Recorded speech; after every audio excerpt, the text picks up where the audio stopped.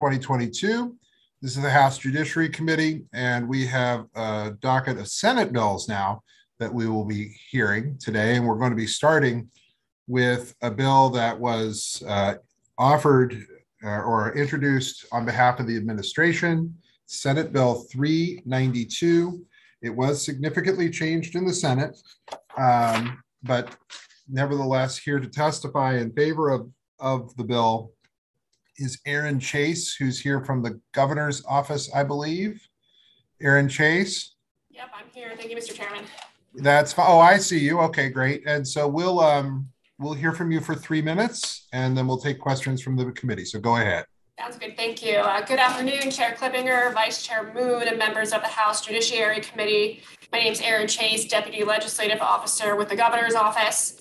I'm here to, today to ask for a favorable report on Senate Bill 392, the administration's Judicial Transparency Act of 2022. As you know, the Judicial Transparency Act seeks to bring much needed transparency to the state's judicial branch by expanding the data points available to the public as it relates to crimes of violence. Given the historic rise in violent crime in the state, we need to take an all hands on deck approach and look at all aspects of the criminal justice system to determine how to bring about effective change to reduce incidents of violent crime.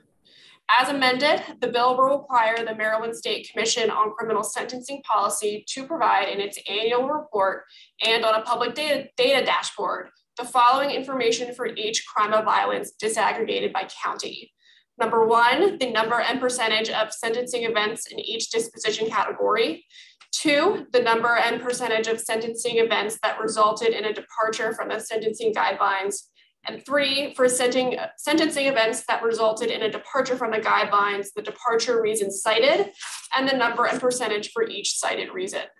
Additionally, the bill the following information would also have to be reported for each crime of violence disaggregated by county and crime.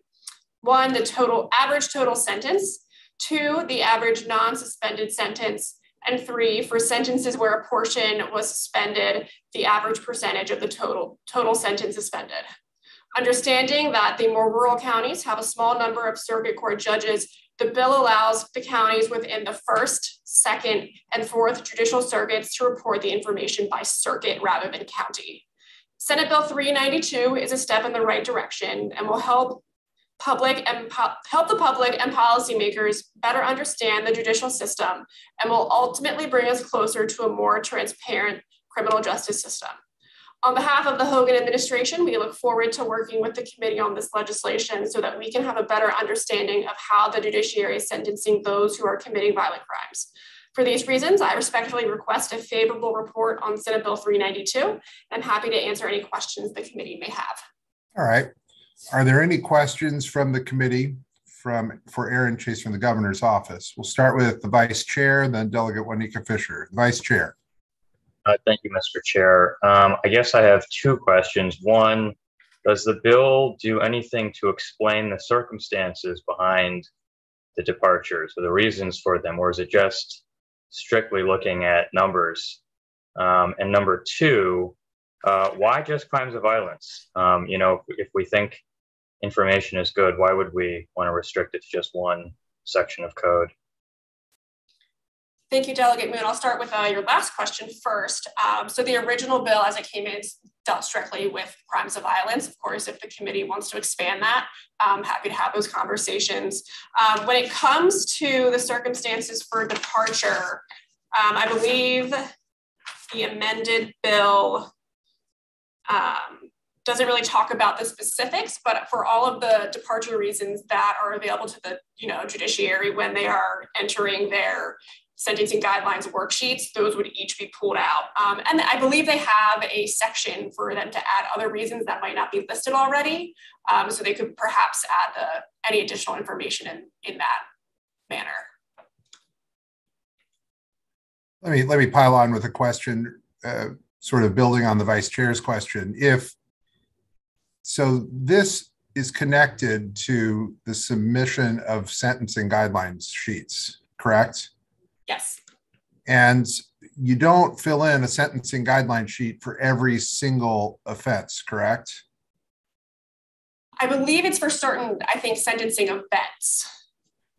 Right, but but they, when I was prosecuting district court, you didn't have sentencing guidelines, didn't have to do sentencing guidelines in district court. Generally speaking, these are just for felonies, correct?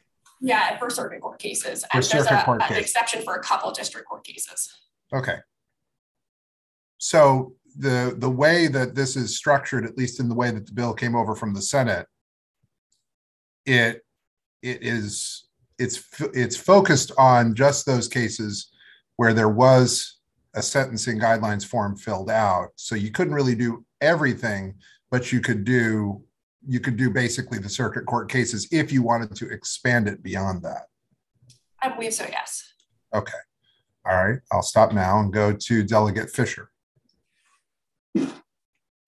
Sorry, Mr. Chair, I was having trouble with my mouse. Um, thank you, Ms. Chase, for being here today. Um, I just had two questions. Does any other state do this kind of reporting?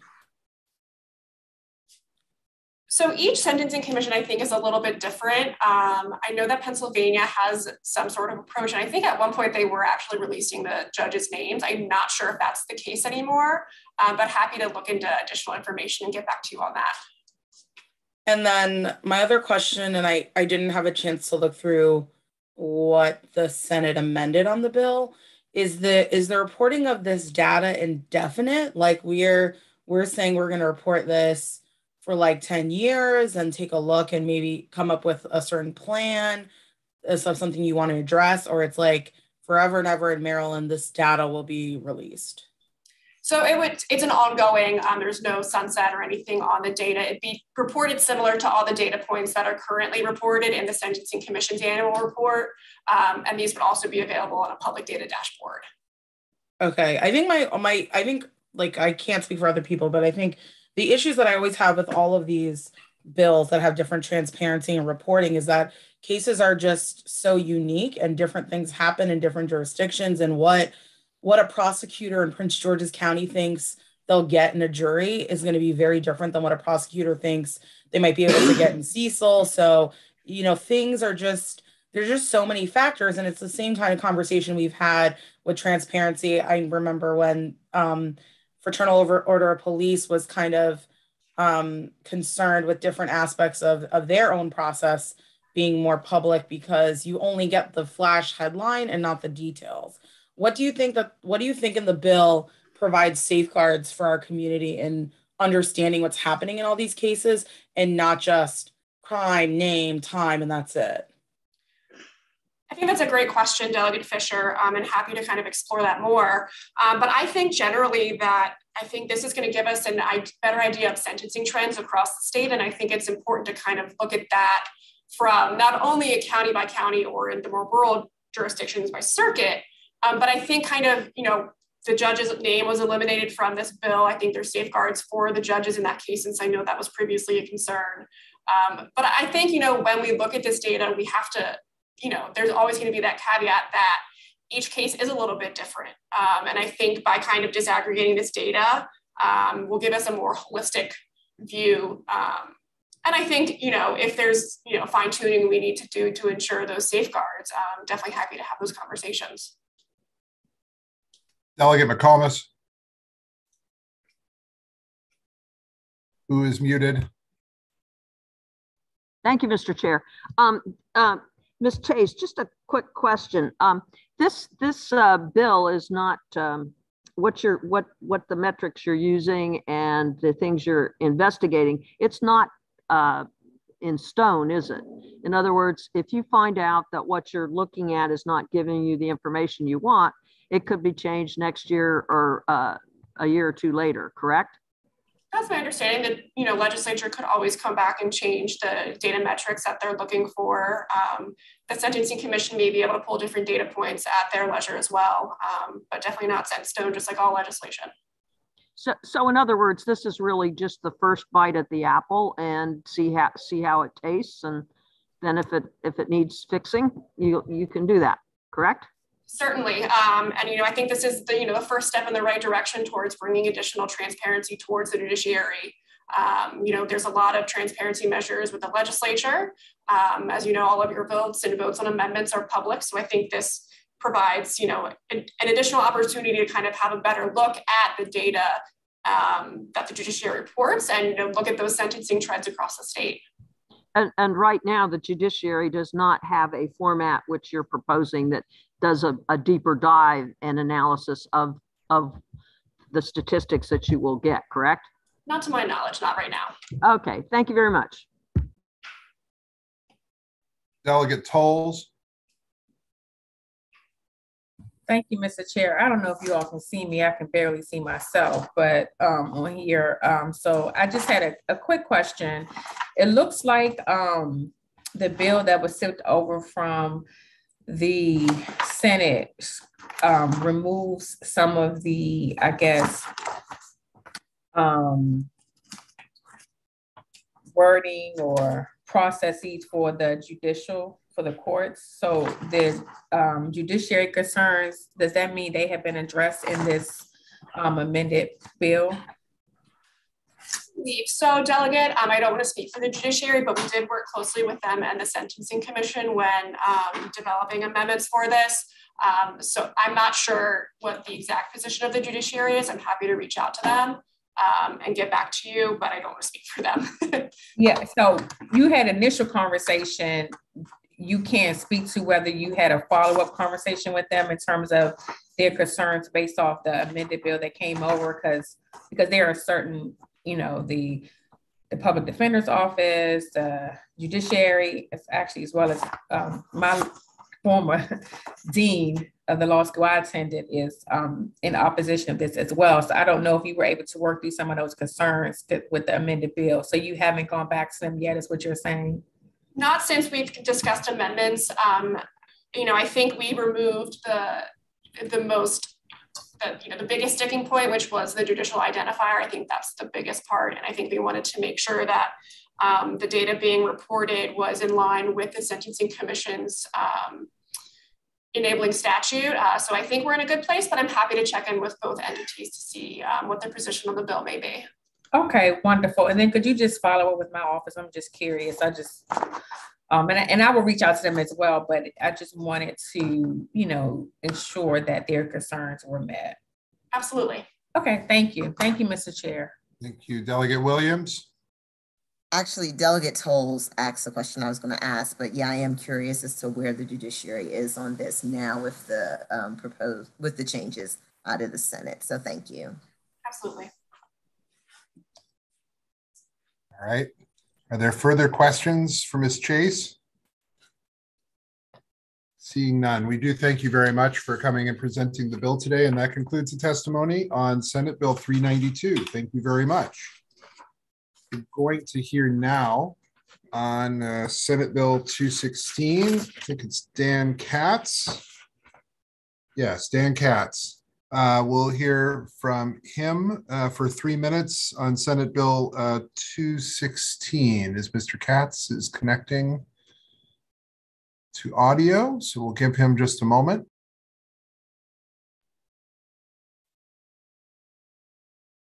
Um,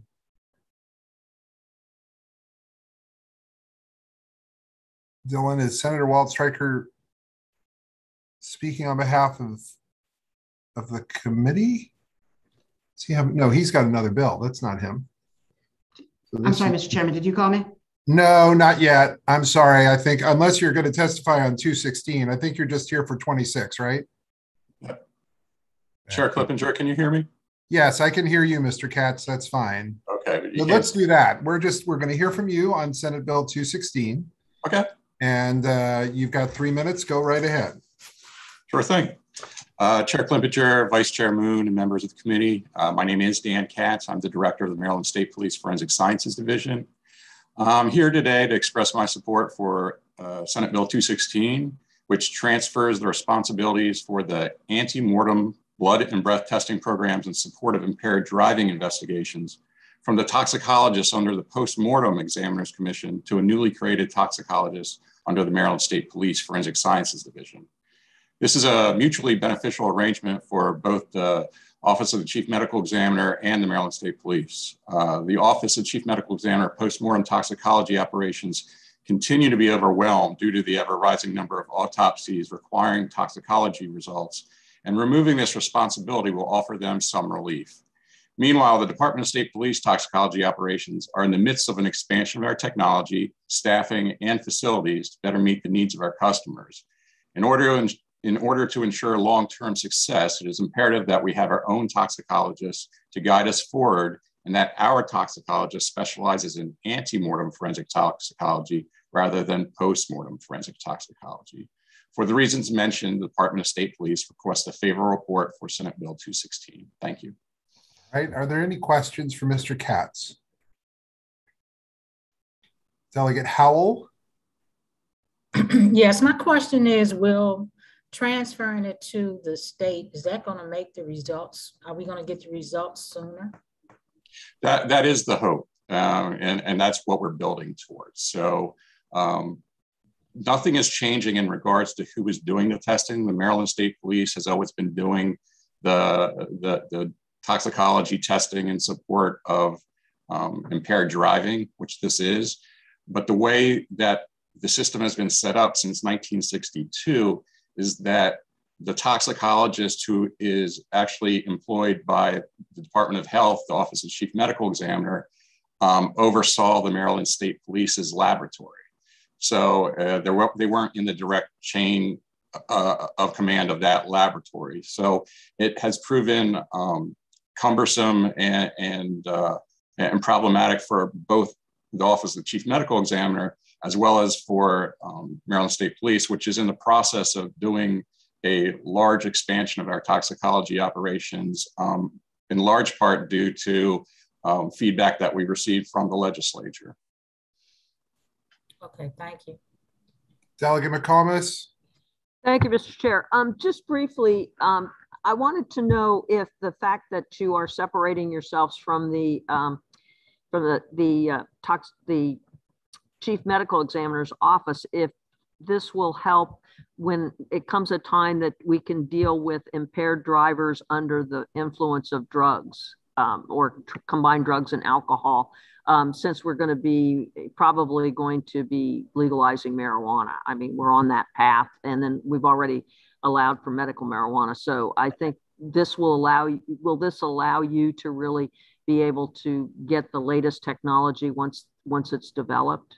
That that that is absolutely correct. So one of the things that has um, been problematic is again having uh, that uh, that oversight and that leadership um, and expertise, um, having it in our own command and working daily with our own laboratory um, staff will allow us to bring on the newer technology that we are already seeking out, um, but it will allow us to do it much more efficiently and effectively. Thank you. Thank you, Mr. Chair. Are there other questions? Seeing none, we thank you very much. And that concludes the testimony for Senate Bill, Senate Bill 216. So thank you very much for that. We're now going to go to the Vice Chair of Judicial Proceedings, uh, to Senator Waldstreicher for Senate Bill 26. Uh, we're going to hear from him, just him, and that's fine. We'll hear from him for three minutes. So Senator Waldstreicher, go ahead. Thank you, Mr. Chairman, members of the committee. Uh, this bill has no cross file, so this is the first time this committee is hearing this legislation. Uh, this bill is a non-substantive technical fix to legislation that your committee uh, voted overwhelmingly to pass last year. Last year, your committee voted to pass SB 201.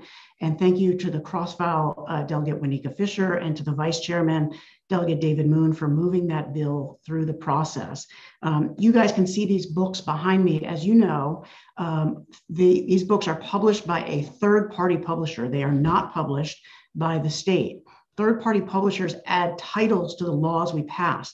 The titles themselves are not law, but they do appear on the internet and in the books and are used by both lawyers and judges in interpreting the law. The bill that we passed last year was mistitled by a third party publisher. Senate Committee Counsel indicated to the publisher that it had been mistitled. The publisher indicated that for them to retitle the bill as we intended, uh, we would need to clarify the language in the bill, which was being misinterpreted by them. And so committee counsel brought this to my attention. I submitted this legislation. Again, it is non-substantive, it is technical, and it is intended to indicate to the third party publisher exactly what we did when last year your body and your committee passed SB 201. Thank you, Mr. Chairman. All right, they'll go to questions now. Delegate Cardin. Thank you very much, Mr. Chairman. Um, thank you, Senator Waldstreicher, for bringing the bill. Of course, I'm going to support this legislation. I'm just curious, in your research, did did you find that these third-party publishers are creating titles that are uh, of, of their own editing? They, they can they can use their own um, kind of creations based on the text of the language to create their own titles? Correct. Third party publishers, for every law that we pass, create headers and titles in their in the books that they publish, which of course are usually accessed online. These titles are viewed by lawyers and judges, and it affects their interpretation of the legislation. And do they do they check with anybody from whether it be the judiciary or legislature or the Department of Legislative Services um, before they create these these titles? So committee counsel can best answer that question at some later point, but my understanding is that the answer is no. They do not, as a matter of routine, check with DLS or anyone when they title bills in the books and online. And as, as far as you know, this, this is the first time, you know, we've we've been around quite a number of years. This is the first time that I've heard of this. Is is this just not a problem where we have third party people coming in and making titles and we've never had them mistitled until today? It is at least the first time it was brought to the attention of Senate Committee Counsel, uh, to my oh. knowledge. Okay, I, I'm I'm maybe we ought to look into this a little bit deeper and make sure we're not having this problem all over the place. But thank you. That this thanks for the bill. Thank you, Delegate. Any further questions for Senator Waldstreicher? Seeing none, we thank you very much for testifying here today, and that concludes Senate Bill 26. Thank you all. Thank you. Going now, I think we're going to end up going. I don't see Senator McCray's office. So wait, yes, I do. Senator McCray is not at his seat, apparently. Maybe if I say Senator McCray a couple more times, he'll hear Senator McCray and he'll come and sit down, testify for us. On the other hand, he may not, in which case, oh, wait, there he is. All right. If you say his name three times, he appears. Senator McCray is here on Senate Bill 13, please. So, Senate Bill 13, it is Senator McCray. I think this is the first time we've maybe we heard this. So yes, but it's Senator McCray and that's it. So we'll hear from him right now. Senator McCray. Yep. First, I just want to say thank you, Mr. Chair. Thank you, Mr. Vice Chair, in your new role. And there are a slew of new delegates um, that I come to. This committee has changed dramatically. So um, it's great to see Delegate Faye Martin Howell. It's great to see Delegate Muñez. And it's great to see, it was one more. Oh my God, everybody know Karen Toles. It's great to see Delegate Toles um, uh, in Judiciary. Mr. Chair, I come to you in reference to Senate Bill 13. Um, Senate Bill 13, I get the proud privilege to chair what we call Public Safety Transportation Administration over in the Budget Committee in the Senate. And one of the things is, is that I get to look at a number of the reports that come before us. There was an OPEGA report in July 2021 where we took a look at the Vehicle Theft Prevention Council. The Vehicle Theft Prevention Council is a phenomenal organization that awards grants to many of our jurisdictions. It's about a $2 million pot um, but on page 19 of that report um, that was given for uh, OPEGA in reference to Vehicle Theft Prevention Council, there was a recommendation to make sure that instead of us awarding money from a population standpoint, that we award money where the thefts are concentrated at. So we award them off of the number of thefts versus just generically off of the population of the respective jurisdiction. I, I got with the state police I got with the executive director of the Vehicle Theft Prevention Council. Um, I got with a number of the folks that were impacted by it in Opega with Mike Powell and came up with a, a, middle ground legislation that pretty much does exactly what was recommended in Appendix B from that Opega report that was there. So I do I believe that this is a consensus bill that has moved through the Senate. I believe that it was 47-0 when it moved through the Senate and hoping hoping that this can move in the same posture uh, when we go before uh, judiciary and it hits the House floor, if, if that's possible. All right, we'll take questions now. Delegate Williams, please. Hi, Mr. Chair. Thank you, Mr. Chair. Um, hi, Senator McCray. Really quick question. Um, I saw that the Maryland State Police uh, came in favorable with amendments, and I do see that there's an amendment um, here in the file. Um, so does that amendment, I guess, kind of address the concerns that were raised by the Maryland State Police? Now, NAHAD came in as introduced uh, when it first was introduced in the Senate. I'm not sure if that's the same testimony. I don't have the um, the testimony, so I don't know what the date says on the testimony that. Uh, let me pull it up here. I just was reading it. It's dated February 1st. I think that that was that was pretty much when we uh, had it introduced and it, it, got worked out. Like I said, I pulled all of them together. The executive director of vehicle theft, state police, Mike Powell from Opega, and we got okay and figured out where everybody could be happy. Okay. All right. That, that's my only question. Thanks. Yeah. Delegate Toles. Hello, Senator McCray. How are How you doing? How you doing? How you doing? How you doing, my friend? Good to see you as always.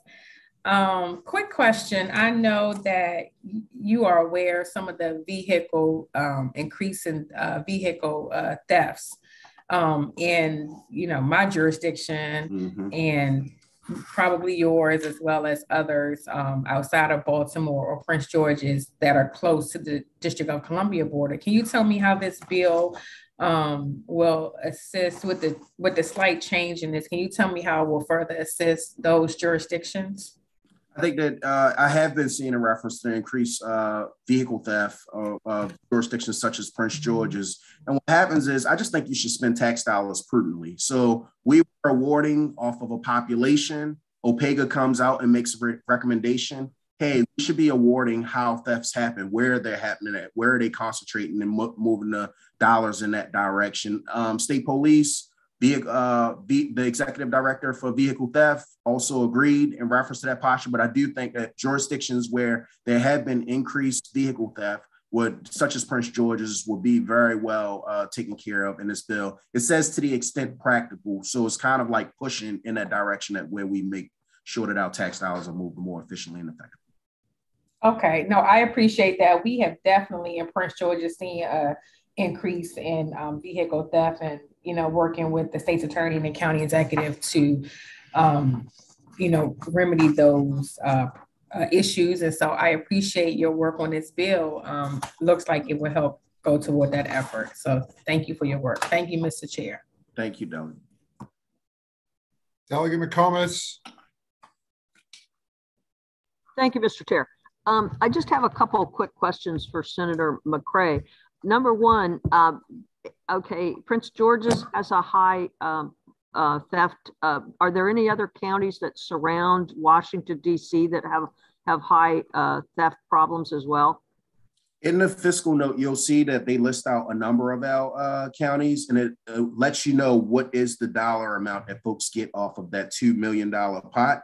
So you'll you'll see that uh, the, there's a line that says percentage of state car registration, but the second one, Delegate McComas, says percentage of vehicle theft. So if you look down at Prince George's, they they come in second place. They have 24.11% of the vehicle thefts that happen in our state. So they're almost at a quarter of the vehicle thefts that happen at our state. And just for some historical context for the rest of the committee, like this is policy that was passed back when Dana Dembrow and people were here. So like we have to take a look at things just to make sure that they're operating in a manner 20 years later that we still want to go in that direction. And that's why Opega did that report, and that's why Opega made that recommendation.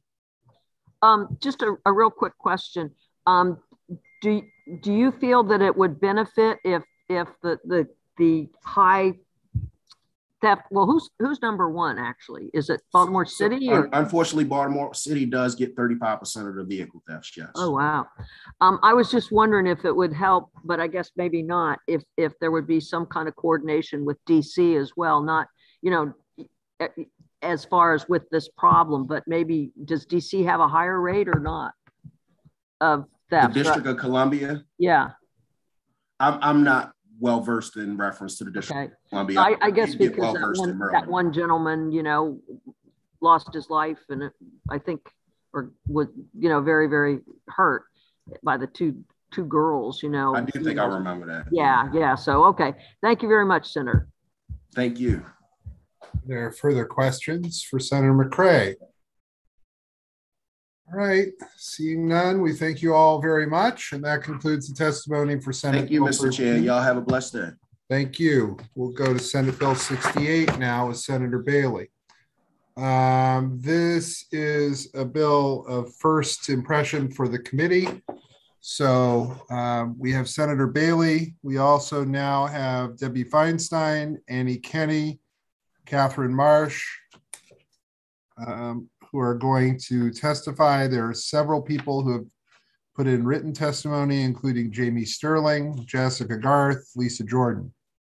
So we'll hear from Senator Bailey, Debbie Feinstein, Kenny, uh, Annie Kenny, and Catherine Marsh.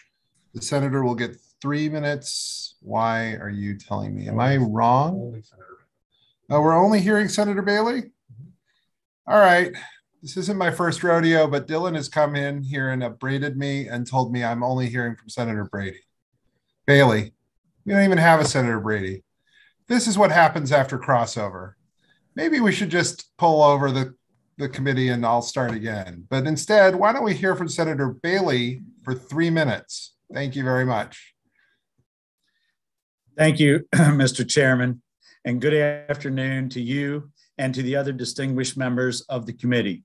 For the record, Senator Jack Bailey, District 29, representing St. Mary's and Calvert County. Today, I'm talking to you about Senate Bill 68, which deals with sexual offenses, crimes of violence, and lifetime supervision.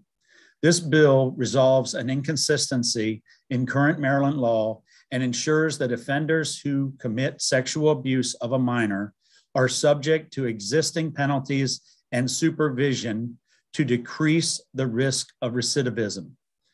Under current law, an offender who commits sexual abuse of a minor in violation of 3602 of the criminal law article against a minor under the age of 13 is considered to have committed a crime of violence under certain circumstances while an offender who violates 3602 against a minor under the age of 12 is subject to lifetime supervision.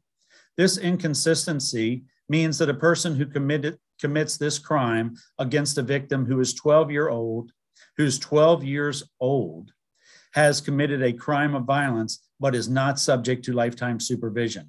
This bill makes these provisions consistent by requiring lifetime supervision for offenders who violate 3602 against a minor under the age of 13. It is important to note that a person may petition for discharge from lifetime sexual offender supervision after serving five years of extended sexual offender supervision. Also, if a petitioner is discharged, if that petition is for discharge is denied, that person can review that petition every year. The other provision of this bill addresses incidents of 3602 where the victim is 13, 14, or 15 years old. These victims deserve the same protections as those who are under the age of 13. This bill specifically specifies in cases where the victim is between age 13 and 15, and crimes of violence statute and lifetime supervision will only apply to offenders who are 29 or older. Senate Bill 68 makes no other changes to the circumstances already in law for when violations of 3602 is considered to be a crime of violence. This bill is narrowly targeted to protect Marylanders from a relatively small but significant number of offenders who have committed these very serious crimes. This bill is prospective and does not apply to any conviction before the bill's effective date.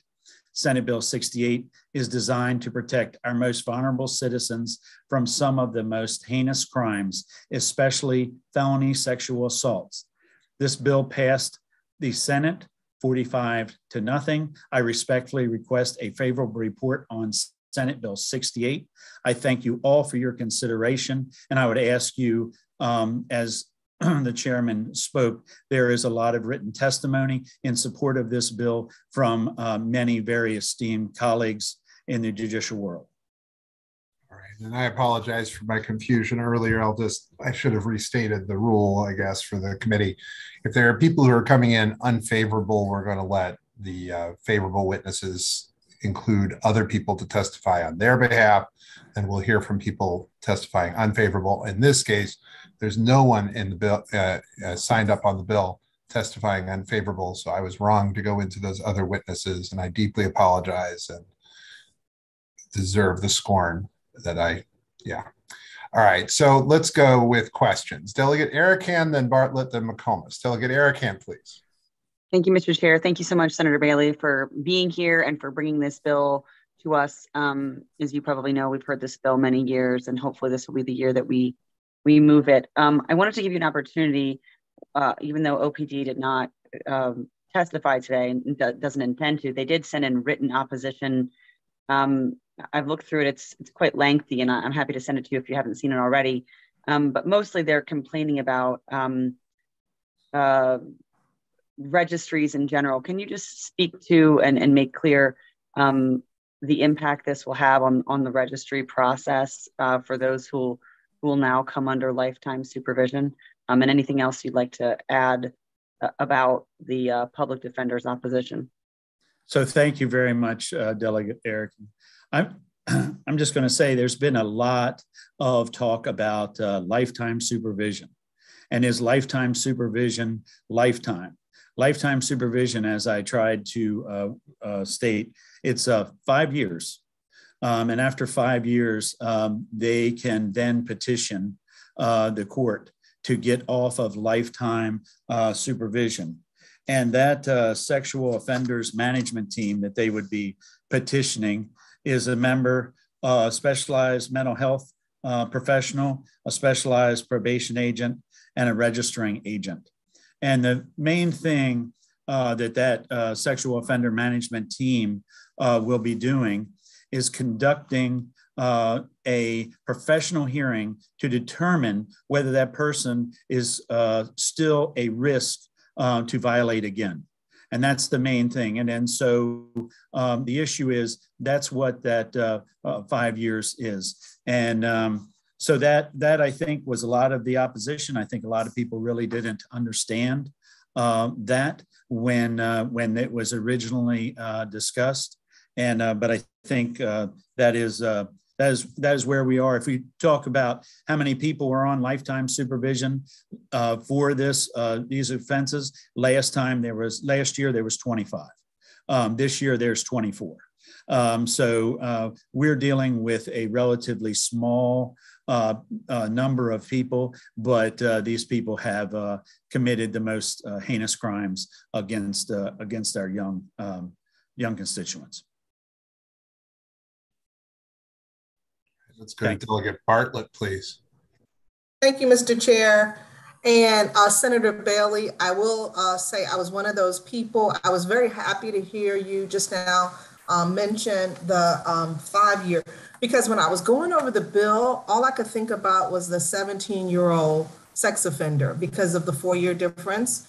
And I kept thinking, what are we going to do with this sex, this 17 year old who's going to be on lifetime supervision forever? Um, so thank you. And um, I guess Delegate Arikan um, asked the question in anticipation because she she she asked my question. Um, but I will say also, this is why the code is important to have in your office because I think you're talking about section 11-724 um, and the section that you're amending is 11-723. So this is this is why the code is good to have handy so you can see it all at one time. Isn't that so? I think that is correct. Thank you. Okay, first, isn't that so after crossover?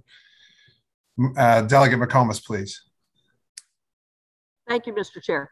Um, just real quick, um, I would think that this bill would also help um, the issue of human trafficking of of uh, young girls um, because you know some some of the kids 13 well probably 12 through 15 um, are likely to be trafficked and this could maybe you know be just a little bit more of a damper on that would you say senator? Um, thank you uh, very much for that question. And i and i think uh, that that uh, you know just for the record i was a police officer for uh, 30 years and there are uh, terrible acts that people commit. Um, and i think that it is very important that all of these laws we can use together to try to stop uh, any type of child trafficking. Thank you. Thank you mr chair. Delegate Wanika fisher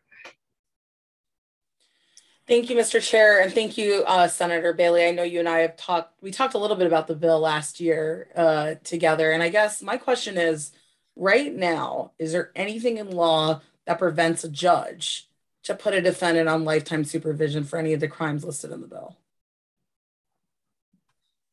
So, Delegate, you are uh, definitely putting me in an unfortunate situation that I do not know every part of the law when it comes to that. I do know that if the um, victim is under uh, age 11, 11 or under, yes, they would go for lifetime. Um, that is uh, that is that is currently uh, the law uh, concerning this. And then there's there's two parts to the bill. One includes 12 no matter what the uh, offender's age is, and then 13, 14, and 15 if the offender is over 21 years of age. Thank you for that. I guess I will I'll ask counsel to clarify what discretion because my understanding was if you were if the victim was over the age of 11 or 12 the judge would have discretion like it, it doesn't mean you can't get lifetime a judge could and this bill is requiring that with the different age you know separation. So i will i will ask um, clarity about that. And then my other question is we ta- you talked about the five years and that people petition to get off of it and you can keep petitioning. Do you have any data of like anyone that has been on lifetime and successfully been petitioned off?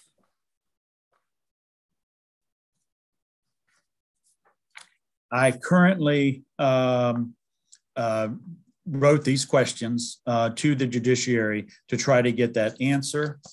Uh, and I got um, a back a response just as the hearing was started. So I haven't had a chance to read it. Um, no problem. You can just send it to me because that's, I think that's, I really appreciate and understand and care about the, the intention of the bill. I think my thing is, and I always find it hard once you punish someone or put someone off, I just feel like the likelihood of a judge being like, yes, I think you're healed and I'm going to take you off the registry is just so slim to me. And yes, it's only 25, I think you said 25 and 24 people, but I think as like as a policy decision and that's what we're doing, I just I would want to do something that if it has been 10 years or 15 years and the person is really um, rehabilitated and ready to get off, there's actually a chance they will and at least for this committee, that's another reason why we ended up in the situation with getting the governor out of parole. And that was controversial because no matter how many times you'd ask, you never, you never got out. So, th- so that's like, that's my, my biggest issue. So if you could send um, some information on that, that would be great. Um, we will uh, follow up uh, with you on that. But the one thing I can tell you is, uh, Delegate, the, the recommendation of whether or not to get off is done uh, by this sexual offender management team that's actually defined in statute. And one, one of those people is a mental health uh, professional. One is a specialized probation agent just dealing with this. And the third is the registering agent. And they are the ones that make the actual recommendation uh, to, uh, to the court about whether or not that the person gets off or not. So that is, uh, it's not just this person walking in um, to the court and asking, and then having a judge uh, uh, accept or deny it. This is um, a very uh, professional um, um, meeting that happens, and then they uh, evaluate that, and then that's the recommendation that goes to the court. Um, and I and I think um, just appropriately based on the fact of when we're talking about people that have, uh, for the most part, committed uh, felony sexual assaults against children. Um, but obviously, uh, once they're no longer, once we think recidiv recidivism is not going to happen again, we should get those people back into society. I agree with you. Delegate Rachel Jones. Thank you, Mr. Chair. Thank you, Senator Bailey. It's good to see you. Uh, I just, my questions have sort of been answered in your response just now uh, to Delegate Fisher. I was going to ask you to clarify the age caps and how that had changed from the, um, the previous version of the bill last year and to talk about um, the lifetime supervision process, but that has been done, isn't it so? Yes, it is. Thank you. Are there further questions for Senator Bailey? Seeing none, we thank you, Senator, very much for being here today. And that concludes the testimony for Senate Bill 68. Now, thank you all. Thank you. We now have a bill where there are people for and against. So now we are going to hear from more than just merely Senator Sydnor. Um, we're going to hear from Senator Sydnor, Melanie Shapiro, Lisa Jordan in favor of Senate Bill 31. And then we're going to hear from Deborah Gardner and David Roca uh, in opposition to Senate Bill 31. We'll take questions in between. So Senator Sydnor, if you'd like for three minutes, and then we'll hear from Melanie Shapiro and Lisa Jordan for two. Thank you very much, Mr. Chair, and uh, good afternoon, uh, Judiciary. Uh, Senator Charles Sydnor, for the record, testifying in support of Senate Bill 31. Uh, Senate Bill 31 is actually a bill uh, that your committee uh, passed uh, back in 2016, died in the Senate. Uh, later on, um, once I was in the Senate, uh, it's been able to pass the Senate, but I was unable to pass in the House. What this bill does is we, we passed it back in, like I said, in 2016 after the implementation of body cam, body worn cameras and and what the bill does is it it creates certain categories of uh, video uh, that would not be or would provide the custodian uh, uh the the ability not not to not not to release uh, certain types of videos. Uh, so if you were to look at section 4-357 B1 I through five talks about the different portions of uh, those types of body worn camera uh, that the custodian would have that we would prohibit from being released. A good bit of this video deals with uh, uh, uh video that may uh, concern people are victims of domestic violence, situations where uh, one might be able to be identified as a victim of uh, a certain set of crimes, uh, the death of the law, a law enforcement officer, as well as one other category, which uh, was drafted so that uh, for those who may have certain interactions with law enforcement that, uh, that does not end in a detention or an arrest, uh, uh, in a search, uh, those types of interactions also would be uh, uh, prohibited from being released. Why, why would you do this? one, in terms of people who have been or victims of domestic violence, it's, it's about privacy. So when body cameras were uh, first enacted, it was it was all it, the art. The discussion was around how one can ensure public safety, but also uh, ensure that people's uh, right to privacy uh, was uh, respected. This bill attempts to do uh, some of that. what the bill also does, it says that if you are the subject of uh, that video recording, you will have access to it. Uh, the custodian will not have the ability to uh, deny you that right. So you really control uh, the, the, footage that's been captured on video. So, say for instance, your uh, something that happened to you does not falls within one of these categories. You could go in, you could request that copy of that footage, and you could share it with uh, a third party. It's, it's, it, would, it, would, it would be yours and you and yours to control. So uh, uh, that that's that's in essence what this bill does. Uh, and with that, I, I'll, I'll certainly rest. Thank you very much. We'll go to Melanie Shapiro now for two minutes and then Lisa Jordan for two. Thank you, Mr. Chairman, Mr. Vice Chair, members of the committee, Melanie Shapiro, Public Policy Director with the Maryland Network Against Domestic Violence. Like to thank Senator Sydnor um, for bringing this important bill. I think it's important to be very clear that the Maryland Network Against Domestic Violence supports police transparency. We support the use of body worn cameras by law enforcement. Domestic violence is one of the most under, if not the most underreported crime, um, with approximately half of all domestic violence incidents going unreported. And this bill would codify the recommendations of policy of the National Network to End Domestic Violence, the Battered Women's Justice Project, the International Association of Police Chiefs and Sheriffs, the um, 2015 Commission regarding the implementation and use of body cameras by law enforcement officers in Maryland, as well as the national policy of the ACLU promulgated regarding the use of body worn cameras um, by law enforcement. I'm going to read you a quote from what the ACLU said. It says, It is vital that public confidence in the integrity of body camera privacy protections be maintained. We don't want vic- crime victims to be afraid to call for help because of fears that video of their officer interactions will become public or reach the wrong party.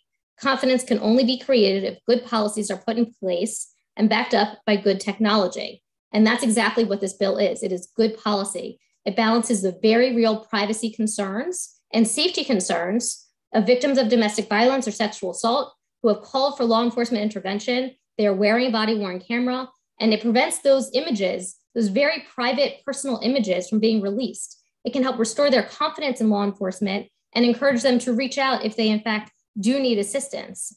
I would also point out that the Fourth Amendment, this is also talked about by the ACLU, there's a very real, you know, it bestows upon citizens certain reasonable expectations of privacy in places such as their homes. And when officers are responding, they're often filming in people's homes. And it's audio and it's visual and it um, is very personal images. And we also, while the PIA currently allows for discretion um, for the release of body worn camera footage, the question then becomes who is viewing these endless hours of images? Who's making the decisions to release or not release? Are these the same people who know the victim? Are they friends? Are they colleagues? Are they even family? And um, there's also a very real safety concern because when yeah. law enforcement responds, they can be performing a lethality assessment. Ms. Um, Shapiro, if you'd begin to wrap you. up, please. Thank you. Yes, I will, Chairman. Um, and they could be connecting them to services. And if that body worn camera image is released, it could contain that very safety information of where a victim um, might have, have sought um, a safe place to go. So for all of those reasons, we urge a favorable report on Senate Bill 31. Thank you. Lisa Jordan, please.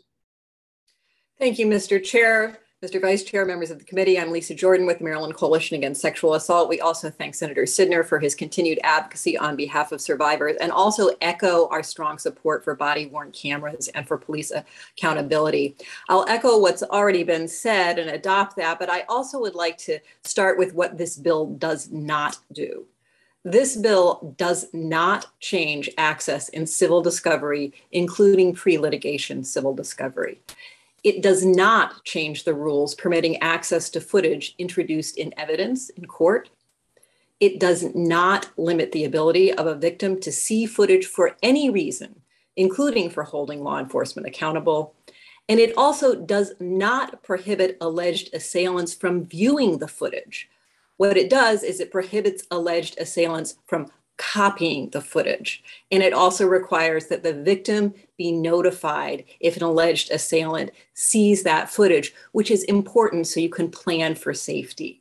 It's a very carefully balanced bill that protects both the need for transparency and accountability and also the need for privacy. It's very important to understand that this is not a solution seeking a problem. This is very real. And I hope it's been filed on the House side. It definitely was filed on the Senate side. There's a case that the Women's Law Center is handling. And a, a battered woman has really been tormented by her abuser. She called the police. There was camera footage. He has repeatedly posted it, shared it on social media. She is now being abused continually and refusing to call the police. So her access to safety and to justice has really been, been interfered with by our current Public Information Act there are many ways that people can still have access to viewing the footage, that people who need access can get the footage. If you are arrested, if there's an attempt arrest, if there is detention, if there is force against an individual, if the camera footage resulted in a complaint or allegation of officer misconduct. All of these things are not what we're talking about. What we're talking about is just Public Information Act access. These are your neighbors, these are the batterers, these are people who really don't need to have this footage, and that this footage should not be then posted on the internet. For those reasons, we urge a favorable report on Senate Bill 31. Thank you very much. Are there questions for this panel? The Vice Chair, please. I'm sorry, Mr. Chair. Um, what are you sorry about? Vice, this, Vice this, Chair. This, this, bill, you know, this bill is I, I, I, I this bill kicks around um, every once and again, and I just have to clarify a couple things. So, on um, Senator Sydnor, um, uh, good afternoon. Um, I, I guess that, so. The domestic violence scenarios um, seem sympathetic uh, in the bill, but it, it's it weaves in several scenarios in it, and I'm a little concerned about some of the other ones. And so, could you just elaborate on two things? One, the death of the officer scenario in here. Um, I, you know, I, I could swing different ways on this, but I guess I'm curious if that's consistent with respect to how we treat the, any body cam footage um, with someone's death. Like, does the spouse of someone who's dead or family have the right to object to body cam footage release under current law or under what's here? Or is it just that scenario of a officer um, that has that right? And then second um, you have the sweeper provision in this bill that appears to just be and anything else. And i guess i'm just trying to understand what that's getting at and why that section is needed. My concern here is these are mandatory denials. They're not discretionary. And we already know the custodians are not in the business of handing things out um, when they feel they have the discretion to not do that. And in fact, it's my expectation that they do not want to um, do it. So if you could just clarify the sweeper provision, what, why, why we need that, and um, how whether how we handle the death part is consistent with um, giving the same rights to everyone. Sure, and, and thank you for your question. On uh, you're talking about on page five, lines 22 through 31, I believe. Uh, so to, to take the, uh, the depiction of the death of a law enforcement officer that occurred in the performance of the officer's duties, uh, that provision was included at the uh, request of the FOP some time ago and included uh, because of uh, one I, I, I, could relate. Uh, my uncle, uh, he had a partner who was murdered during an undercover drug operation uh, back in the early 1980s. And I can remember um, the news constantly playing over and over again the audio of this man being murdered during the course of his duty. And I can remember the impact that it had on uh, those who loved him. Um, and uh, and so when they asked me to include it, I felt um, I, I, could understand why they wanted it included, and I did so. Now, why would we treat that differently uh, than anyone else? Uh, well, and it kind of gets to uh, the section uh, of the part five.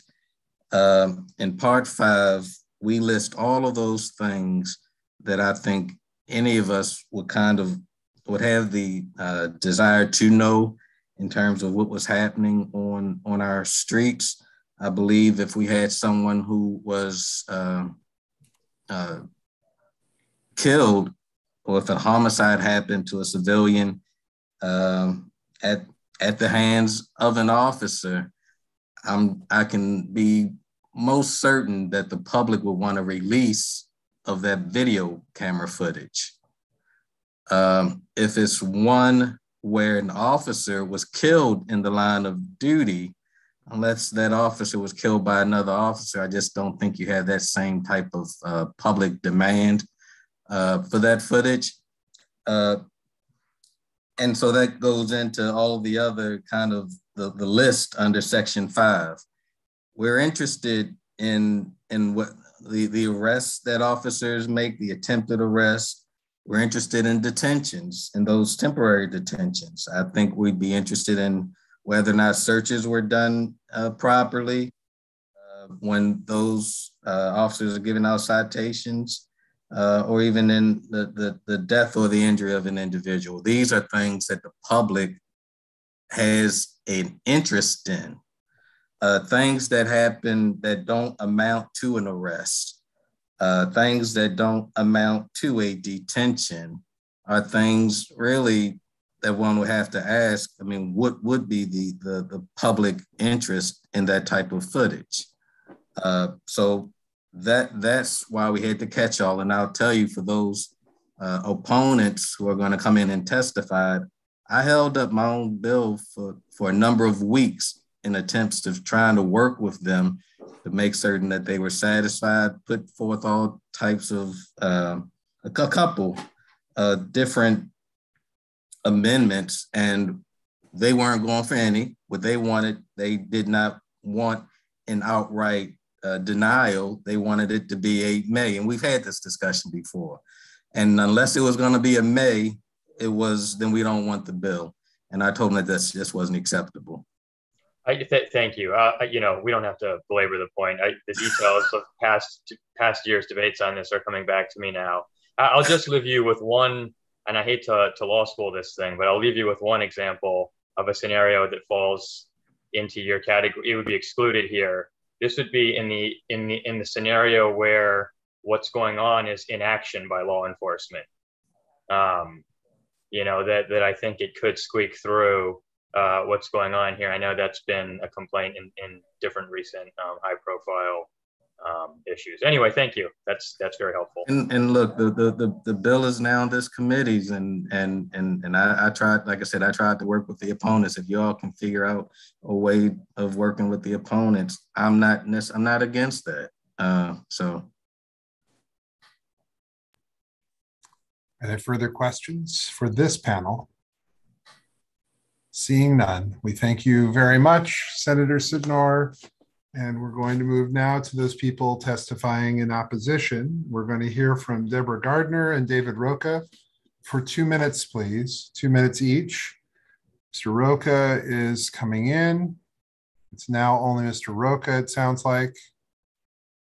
Sounds like it's just going to be Mr. Rocah. So, David Rocah, are you there?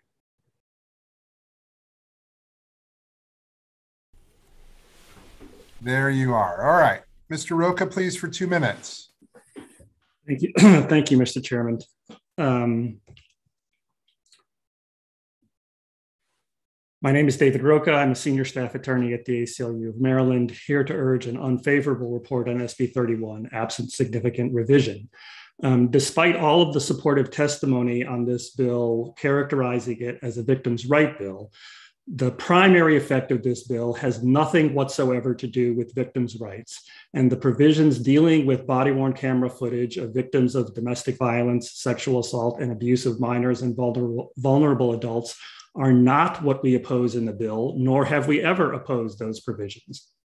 And if you want to pass a bill limited to those provisions, which are subsections uh, little i through three little i on lines 14 to 25 on page five, then that would be a victim's rights bill, which we would not be opposing. Instead, this bill's primary effect is prohibit is to prohibit public access to body worn camera footage of police activity unless it meets certain criteria, something that the chiefs and sheriffs have been trying to do since 2015. Body worn camera footage is the single most effective way of holding police accountable, revealing time and time again that police version of events is simply not true, and the General Assembly should not be restricting access to such footage, footage, particularly when the asserted justifications lack any basis in reality. The largest effect of this bill is contained on page five, line 28 through page six, line four. That provision combined with the introductory language uh, on lines 14 through 16 of page five requires, not permits, as Senator Sydnor said, but requires police to deny inspection of all body worn camera footage except to the subject of the footage unless the footage depicts the specific things listed on page five, line 28 through page six, line four. Contrary to what proponents say, that list of permitted disclosures does not encompass every type of police activity in which the public has an important and legitimate interest. Denying access to such footage has nothing to do with protecting victims or privacy, both of which, in the abstract, are certainly important and legitimate goals to which the ACLU is extremely committed. Existing law already explicitly allows custodians to consider the privacy implications of the release of public records. And because the denials of access in the bill are mandatory, not permissive, they give police unfettered and unreviewable discretion to characterize their conduct as falling outside of the permitted uh, denials without any means to challenge that characterization even though the terms used are not okay. self-defining and are contested literally daily in criminal cases. Mr. Rocah, um, we're going to need you to begin to wrap up, please. Let me just be specific about what uh, uh, wouldn't be released. Um, first, look at the difference between when body-worn cameras are required to be activated under Maryland law uh, at the initiation of a call for service or other activity that is investigative or enforcement in nature, um, and compare that to the very limited set of uh, uh, release that would be um, permitted in this bill. Um, more specifically, what it doesn't include are any searches of property. So, for example, the videos of the BPD uh, planting drugs that they supposedly found in a search of a vacant lot, uh, or in their words, restaging what they claimed they found while the cameras were off, those would have been prohibited from release. Mr. Police Rocah, conduct. Yeah. Gonna need you to begin to wrap up, please. Um, well, let me just say there's multiple ways to fix the bill. Um, delete page five, lines 26 uh, through page six, line four, and leave the bill as applying only to footage of victims, or change the shall in page five, line 15 to may. Uh, either of those changes would fix the, the significant and huge problems um, with the um, mandatory denials that this bill uh, uh, requires. Thank you. We'll take questions now. Delegate Cardin. Thank you very much, Mr. Chair. Um, the uh, Mr. Rocah, just if I'm looking at lines um, 29, page 5, 29 through 20, page 6, um, line 4, I guess and what you were just describing, can we just expand that list to cover um, searches of property and make you guys happy? Or is there, can you expand the list no. to other things? I mean, there's got to be some discretion for, you know, let's just say you have, you know, hundreds of hours it's and time and money of of footage that is that's just, you know, walking around and doing nothing. Like I mean, clearly you can eliminate that and save everybody time and money, can't you? Right, but here, here's the problem. So, De- Delegate Cardin, you introduced that by saying there has to be some discretion. I agree, there has to be discretion. The problem with this bill is that there's no discretion, it's mandatory. Number two, no one's requesting footage of police officers walking around doing nothing The, the problem in this bill is that the, the list of permitted denials is not the same thing as the list of when the camera has to be on recording police uh, investigative and enforcement activity. I was trying to give some specific examples of things that would be excluded. So, for example, um, the, the, the, the, the, property searches is, is one. But the, the reason that, that sort of um, trying to rewrite the list of um, exclusions from the mandatory denial is a losing enterprise is that these terms are not self defining. So, for example, the bill says um, we will uh, allow the release of uh, uh, arrests and detentions.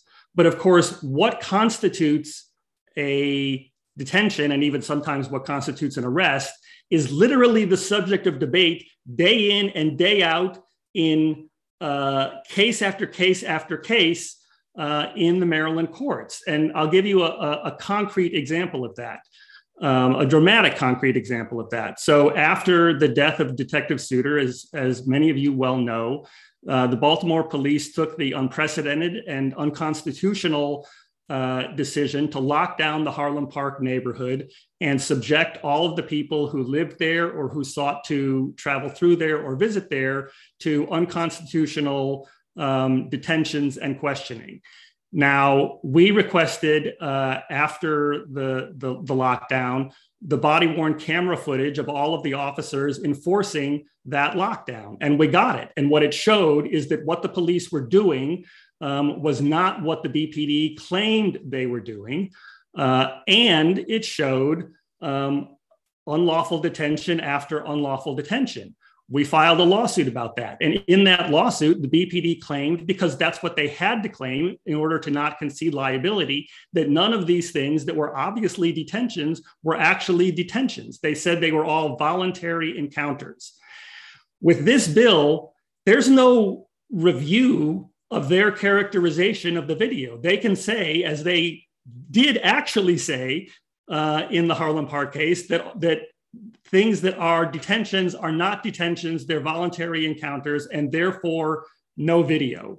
And that's unreviewable because it's a mandatory denial. There's no way for, for me as the requester to contest that, and there's no judge who will ever review it. And so that's the problem with this whole idea of deny everything except. And the idea that, that discretionary denials are not an adequate way of dealing with this um, is simply wrong. I mean, look, first of all, discretionary denials are what applies to the entire corpus of police records right now, police investigatory records, many of which raise just as many and just as important privacy concerns as body worn camera footage. And we don't say all police records have to be denied, except we have a system of discretionary denials, which explicitly includes privacy as something to be considered. That's explicit in the law. So the idea that they can't consider that now is simply untrue. And there has not been any problem either with body worn camera footage or with the entire other corpus of police records with that system of discretionary denials. And, and as Delegate Moon said, the idea that the police are out there willy nilly releasing things uh, is, is, a fantasy. It's not true. In, in, in actuality, the problem is exactly the opposite. The General Assembly last year um, uh, the law to finally allow access to police um, internal affairs records. And what you have is police departments simply flouting the law and claiming it's not in the public interest uh, and denying it as a blanket discretionary denial. The problem is not that we're releasing too much, it's that uh, the public does not have um, adequate access to police records. And the idea that police cannot look, the, the idea that the ACLU doesn't care about privacy is just ridiculous. We obviously do. I do. The national office does. And as I said, if you if this bill were limited to the specific provisions dealing with victims of sexual assault, et cetera, we would not be opposing this bill.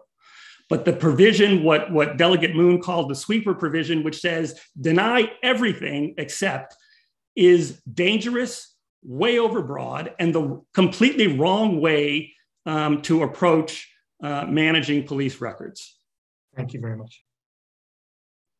Further questions from the panel? Thank you very much. That concludes the testimony for Senate Bill 31 and concludes the testimony for bills today. Uh, we will be back tomorrow with uh, more uh, Senate bill hearings. We may have a voting session tomorrow later in the afternoon. We'll be letting the committee know, letting people know on the floor. Certainly, we'll have a voting session on Thursday. So, with that, thank you all very much.